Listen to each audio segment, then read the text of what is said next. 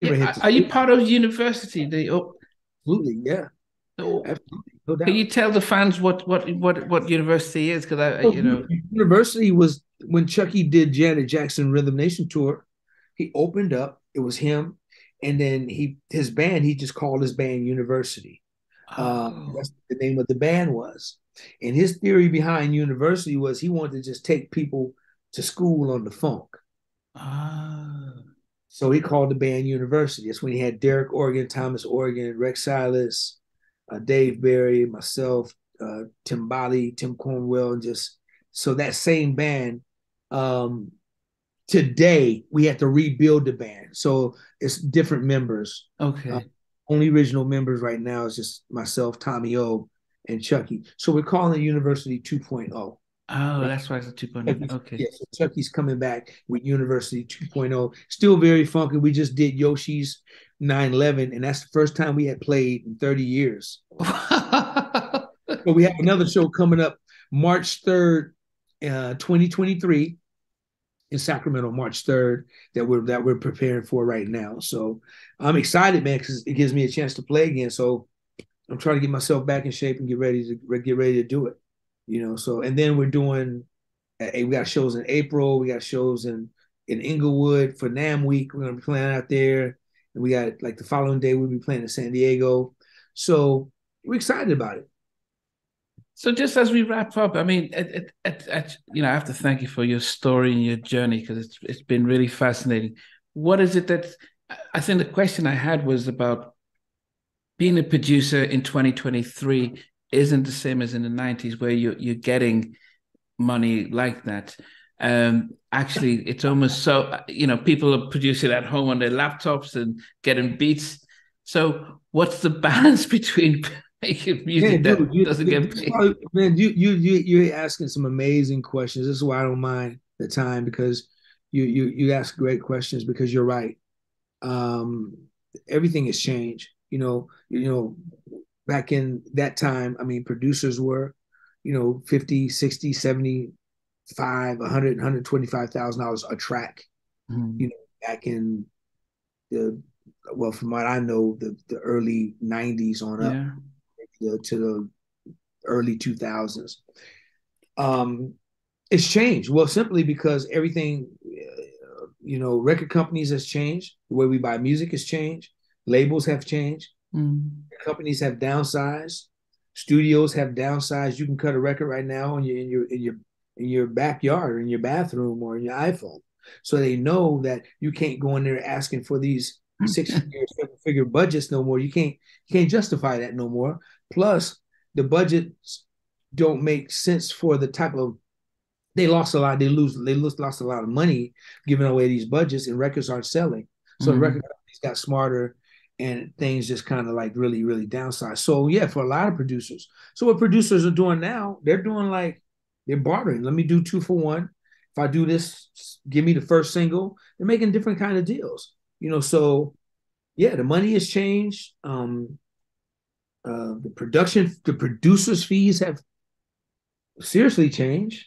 Mm. Um um, because you can't really justify, you know, not for everybody, not for every judge, it's for most and I'm one in the most. Okay, so I know there's a different level for like Timbaland and, and the Neptunes and Babyface. Well, there's different levels. There are different levels, man. But uh, I'm thankful because I do have like working with artists who still have record deals. So a lot of artists don't even have record deals right now. Mm. So a lot of artists are, you know, self-investing. It's got investors are financing their own projects and, mm.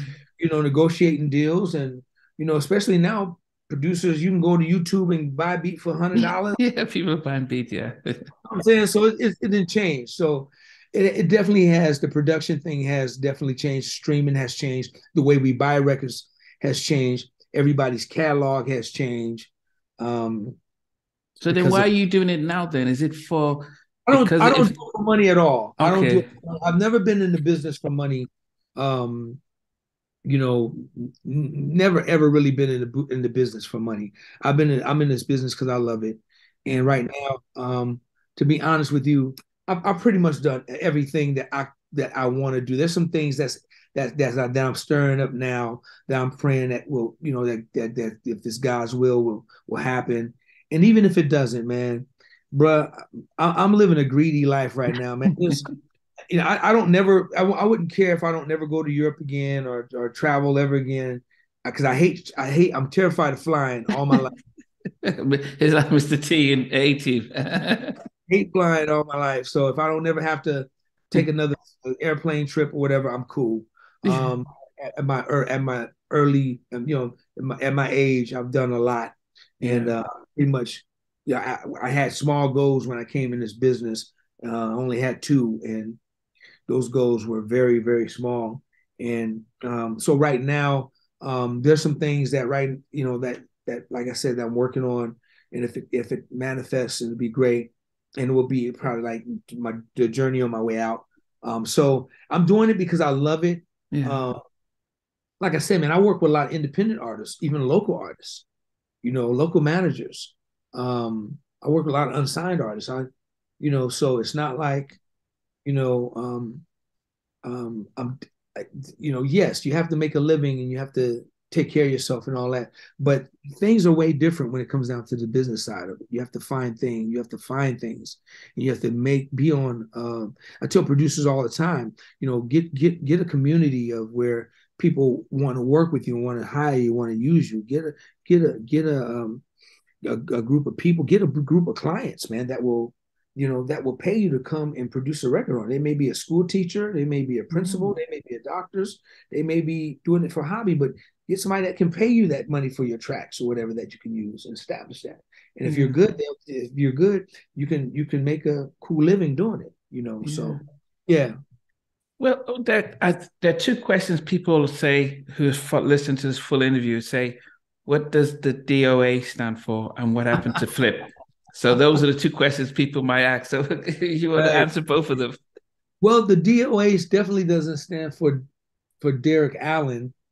People think is my my name is Derek Oliver Allen, Derek Orenthal. I've been even called Orenthal Allen you know, or Derek, whoever, old, old, old, old Allen. I don't know, just with these crazy names. But my middle name is Lewis. So DOA came from Chuckii Booker. Chuckii Booker gave me that name. I showed up at a studio one day, I played on a track, and he says, he says, yo, dude, he says, your name is going to be DOA, and this is what it stands for. He says, I don't want you telling nobody what it means. I said, Wow.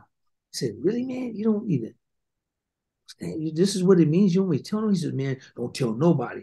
So I'm like, okay, I didn't know if I if I liked it or not, but after after a while, I'm like, Chuckii Booker gave me a name and I, am juice, right? So what I go do a few weeks later, I go buy me a little trucker's hat and I go get it's you know some letters put on it and I whole, have the whole definition of the name going across the hat, right? Uh. Because I'm thinking I forgot what he said. I'm So I'm rocking his hat.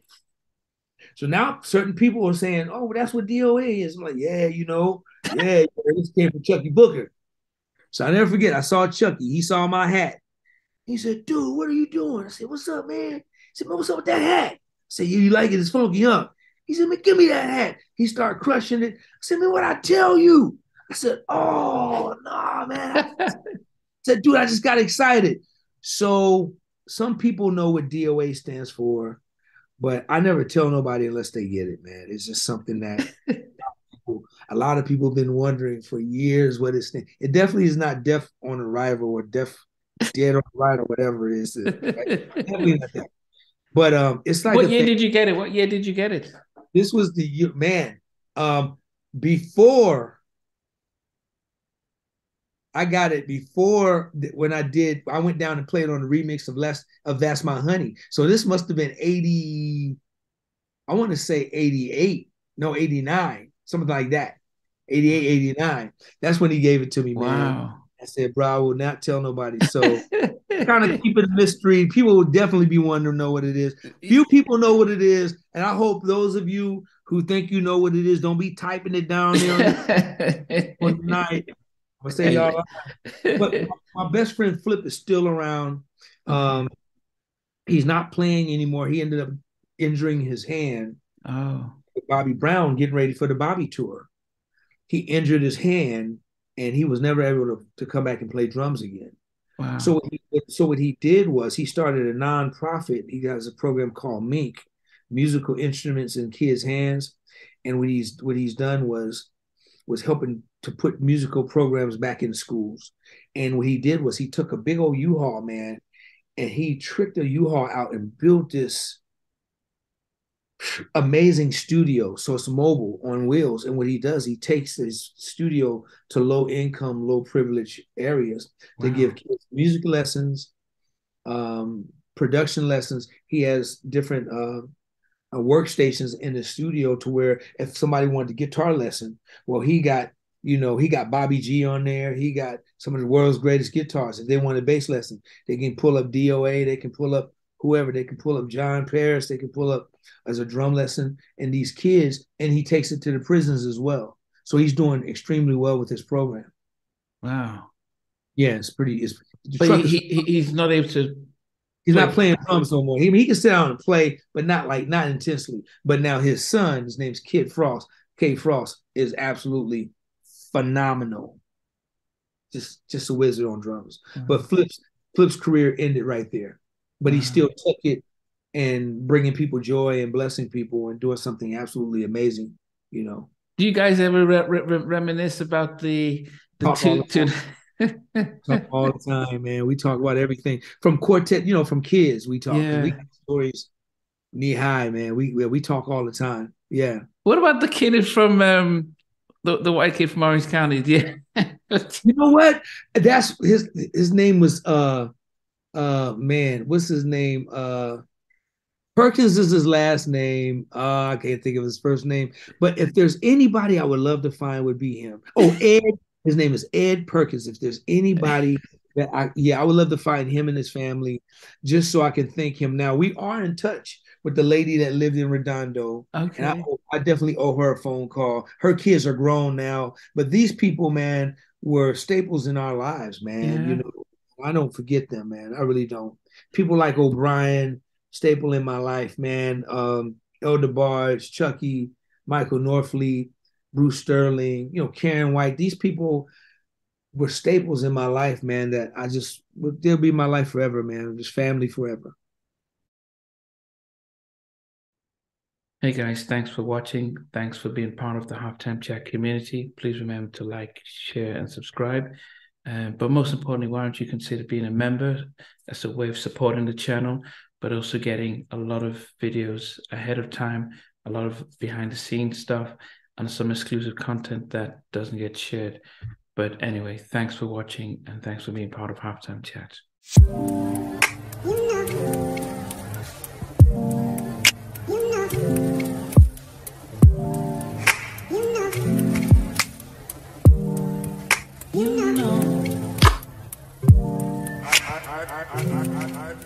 Yeah.